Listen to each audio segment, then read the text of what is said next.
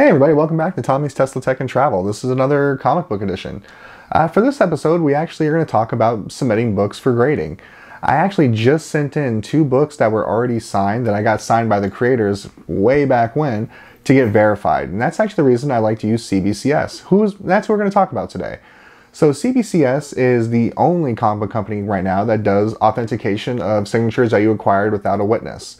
So someone like myself who always got comics I collected them forever, but I always got them signed out of this the love of the hobby to meet the creators, to talk with them, and just to discuss the books that were so influential in my life.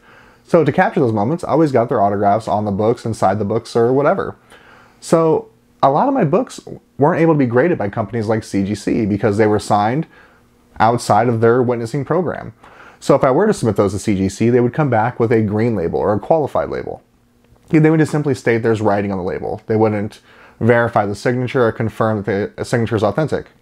Well, over at CBCS, they teamed up with Beckett, and Beckett has a bunch of signature experts, so they actually verify those signatures are real. So, someone like in my case, I, I know my signatures are real. I, I got them. But you know, sometimes across the wild, you come up with books that you didn't know were real. So, like for example, well, let's get to that in a second. Let's talk about the books I submitted of my own collection. Um, I submitted two books to get graded because they had a great promotion going on right now where they're giving $10 off of a verified signature per signature. So I had a copy of Chew number one, and everybody knows Chew is actually one of my favorite comic books ever made. In fact, John Layman, the writer and creator, he's actually been a guest on this podcast, well, vlog before. I interviewed him at Tucson Comic Con last year. And the other book I sent in was uh, Hellboy Seed of Destruction number one, one of the older books in my collection that I got way back when I actually got uh, Mike Mignola to sign a copy of it in San Diego Comic Con, I believe, back in 2009. So we're talking about nearly 15 years ago. So those books have been sitting in my collection for the longest time, and I never got them encapsulated because I could never get those signatures verified, even though I knew they were real. So with this program they have now and the discount they had coming, I decided to send them in. So Chew number one is signed by Rob Guillory and John Layman, and Hellboy Seed of Destruction number one is signed by Mike Mignola. But that's not where our journey stops. So some friends of mine and friends of the show who own the uh, Presidio Comics in Tucson Mall, they were actually heading up to the amazing Comic Con up in Las Vegas this last weekend. And if you're watching this, it's already passed, so I'm sorry if I got your hopes up about some signings going on. But Kevin Eastman's going to be there, the creator of the Ninja Turtles. And if you didn't know, I absolutely love the Ninja Turtles. It's always going to be the biggest part of my heart when it comes to comic book and pop culture collecting. And I'm lucky enough to actually own Ninja Turtles number one. Not a first printing, it is a third printing. We've talked about it before on the show. And I also own a Raphael number one, which was the first appearance of Casey Jones. What's really special about this book, and I alluded to it earlier, when I bought this book, they said, oh, it's already been signed by someone on the inside. I just assumed it was Kevin Eastman. At this point, I think here it's kind of like Spawn and Todd McFarlane. I feel like every copy signed at this point. But no, it was actually signed by Peter Laird and dated 1991. And as a huge comic book collector, and specifically Ninja Turtle collector, I'm pretty familiar with Peter Laird's signature, and it was spot on and perfect. And the person didn't try to sell me or upsell it, like, oh no, it's just signed. It was actually at a collectible and hobby shop. And yeah, they had a Peter Laird Raphael number one signed book. So I jumped on it. And I have zero fears that this signature is not authentic. So they were at the show this weekend. I wanted to go, but I couldn't make it. So they ended up taking my books with me to get signed for me. In fact, I, Kevin Eastman apparently got really excited when he saw that Raphael number one. In fact, that it was signed on the inside. He's like, old school, I was told. So those are getting authenticated too. So hopefully here pretty soon, we're gonna get some books back that were verified and witnessed. So we're gonna kind of see the differences and the processes thereof. So let's talk a little bit about getting your books graded. All right, so we find ourselves on the homepage of CBCS Comics, and that's cbcscomics.com. And let's look at a couple things here before we actually start doing our submission. I think most importantly is check out their services. They do comic book grading, which uh, you can get a raw grade, which means they don't encapsulate the book. Uh, you can just get basic grades, grader notes, and there's certain comics that they run certain specials on, so that's under their featured comics. But we're going to skip most of this for now, and I'm going to show you the pricing and turnaround times. I actually think that's one of the most important things to look at. And one of the reasons I lean towards them, is there's always a good turnaround time. Now, truth be told, the first book I ever sent in with them was my Fantastic Four number 32. I got signed by Stan Lee back in 2007, and that took nearly a year. That's because they were a startup company. I got it pressed. It just was, I actually almost forgot about the book at one point. But right now, we're going to start off here the pricing and services. Right now, for 2000 books from 2001 to present, you're looking at a 30 day turnaround time for $22. That's pretty outstanding. 20 days for $32, or if it's a book that's valued at more than $4,000, you're looking at 45. And as you can see, the tier gets a little bit more expensive for the value of the book and how quickly you want to turn around. Now let's say you're turning around like a Amazing Spider-Man number one, and that's a book valued well over $7,000. Well, $80 10-day turnaround time, if it's a book you're planning on selling, that's nothing to pay. Now me, I keep almost all my books, so I'll pay the 22 and wait a little bit. And we'll scroll down here too. We're looking at some modern books. That's from 1975 until 2000. So like for example, I sent in my Incredible Hulk number 180 a number of years ago, and that would have cost me $24 and a 30-day turnaround time. And again, these times have all gotten way better. At one point, you were looking at six months, especially at the height of COVID, because people had nothing better to do, so they were sending in their books to be graded. Now, vintage is anything pre 1975. So those start off at $40. So you're talking about your classic Silver Age books. Like I'm a big fan of the uh, 1968 Marvel Big Premieres. I have all of them. Now let's say I were to send in some of those, I'm looking at 40 bucks a piece, right? And we're talking about nine total books. Well, nine books that I consider part of that run. And you have the options to send in stuff raw. What that means is you're not looking to get it encapsulated, you're just looking to get it graded, okay? And down here, we're looking at some other stuff. So if it was a witness signature, like for example, the ones I was talking about earlier with Kevin Eastman, uh, that particular book, you're probably looking at $18 just for the signature part on top of the encapsulation fee. Uh, original art you can get done as well. Slab only, so you don't care about the grade, you just want to protect it. You can pay just to have it thrown in encapsulation, but it won't have a grade.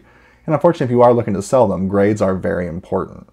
And comic book reholder, which I need to do with some of my older books because they're in their old CBCS slabs, and let's be honest, they weren't the greatest slabs originally. They've actually improved them exponentially, okay? But let's move on. So now we're going to choose Submit Comics, okay? So as you see, we kind of this is the basic synopsis of what we just went over in a little bit more detail, but we're going to choose Start Your Submission. So I got nothing in there right now, so zero. I'm going to hit Add Comic. So let's think about a comic here. Let's go with the one I just did recently, and that is Chew. So it gives you a list of all the different Chew books that are out there, including Chewbacca, but we're not doing that today. We're choosing Chew, and that's going to be issue number one. And as you can see here indicated by those red stars, that's what you have to fill out in order to get the book graded properly. So in this case, this book for me came out in 2009. And if you don't know what year your book came out, there's great websites like Go Collect or even just some of the comic book pricing guides that'll tell you all the details in the book, including the publisher, the writer, the artist, whatever you need, the year, just check them out, and I always kind of keep them open to the side. But this one I do know off the top of my head. And what publisher was that? Image Comics. Oop, help if I spelled image right. There we go. And there's no variant to this particular one for me, and there's no pedigree. It didn't come up from a specific collection like Mile High or whatever. I have one of them. And here's where you have to kind of look and do your homework. You want to insure your books in case something happens because you are mailing them into Texas where they do the grading. So in my particular case, I'm going to say the book I have is probably worth about $400 in its raw condition. And here's where you can set it if you want a specific grade. Let's say I want it to be a 9.2. They will not encapsulate it or grade it unless it's a 9.2 or higher. But I always kind of just say none because I don't care. I just want the book encapsulated and graded for my own protection. So as you see here, right now our current total is $22. And it's saying process within six weeks after receipt. So right now they are looking at more than, a, well, still about a 30 day turnaround time. But six weeks is what they're estimating. And you can pick additional services, like you can have a picture on file, which adds another $5 to it. Or a raw grade, so hey, we don't want to get it encapsulated, just grade it raw. But nope, we want the encapsulation and the grade. I don't get the pictures taken because the number should be enough to me. So next thing we're gonna pick, in my case, there's authentic and verified. So if you look, add a witness signature to your book or a verified. In our case, we're choosing a verified. And here, I'll type the name of John, who was the first person that signed that book. And here's something I never bothered to ask, but I hope is true. Let's say I misspelled their name. I don't know their name.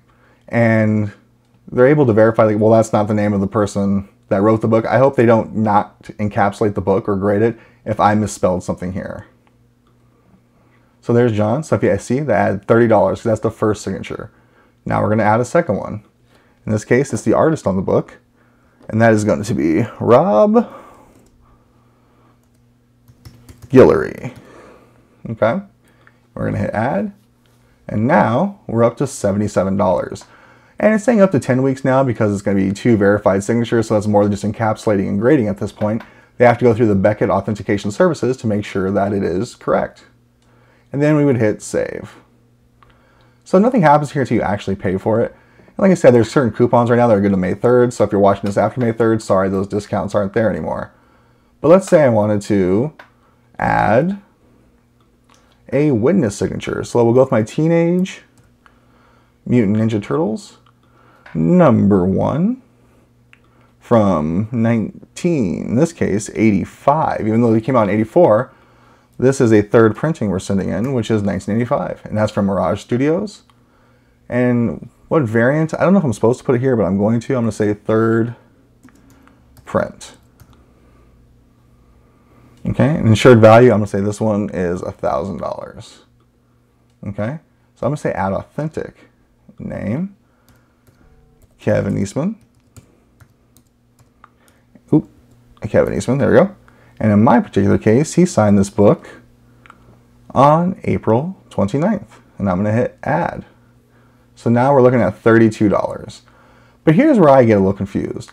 At what point and what do they need to verify that it is a witness authentic signature? So in my particular case, the CBCS representatives witnessed it and collected the book at the time. Now, if I was to send this in later on, I don't know what I would need to do in order to prove that it was really signed. But we're not going to worry about that now because I know it's signed and that's all that matters. And here's where you hit checkout. And it asks if you want to add any other services on. In my case, I'm going to say no. Do I want to do pressing, no pressing, show me more information? I'm going to say no. And that's where we're going to hold off for now because if I kept doing that, you're going to see all my personal info. Eh, not that I don't like you, I just don't trust anybody. so the next part is you would set up the shipping and everything else. So bear in mind you're paying for shipping twice. You're paying shipping out to Texas to be graded, and you're prepaying for the shipping for them to return it. So in my case, after I did all this, I dropped it off at FedEx. And it is up to you to pack it and pack it well. Just know if you send it in any kind of bags and boards or anything like that, you're not going to get those bags and boards back. Because a lot of people like to send them in Mylar or some of the thicker like um, Ultra Pro cases and they're not going to send those back. Their job is to grade them and encapsulate them and return them to you. So make sure you pack them well because just because you sent it in a 9.8, it might not arrive in a 9.8. So keep that into consideration. Things get messed around, things get knocked around when they're being shipped. So the next part is you're just waiting for it to return. Now this is the anticipation part.